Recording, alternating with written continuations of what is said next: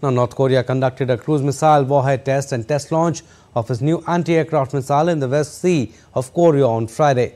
North Korea had conducted a power test of a super large warhead new type anti-aircraft missile. North Korea's strategic cruise missile is believed to be designed to carry a nuclear warhead. South Korea, Japan and the United States, which often report large missile tests they detect from North Korea, made no mention of a flight.